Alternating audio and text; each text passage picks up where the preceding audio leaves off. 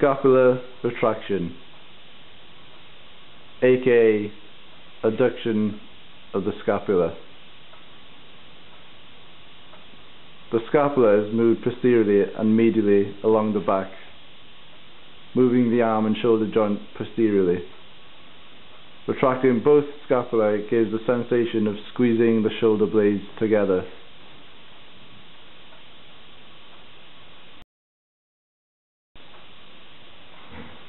Scapular protraction, aka abduction of the scapula. The opposite motion of scapular retraction.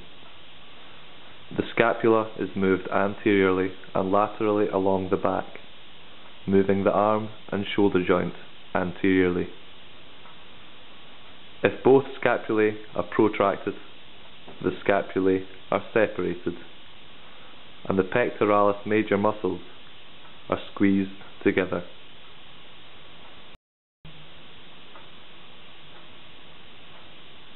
Scapular elevation. The scapula is raised in a shrugging movement.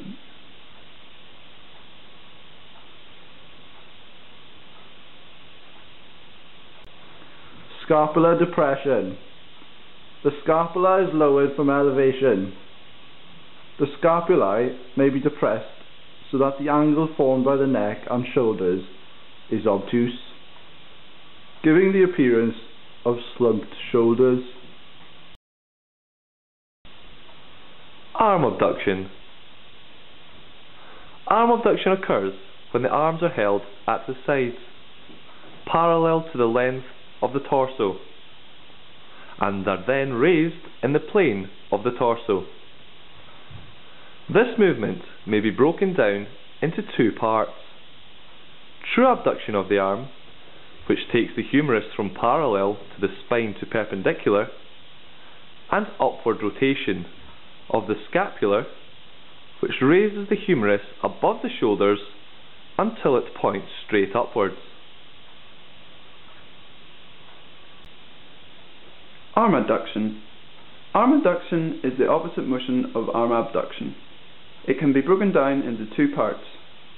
Downward rotation of the scapula and true adduction of the arm.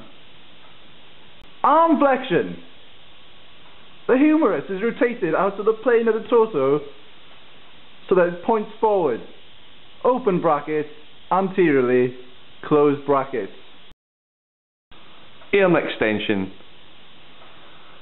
The humerus is rotated out of the plane of the torso so that it points backwards. Posteriorly.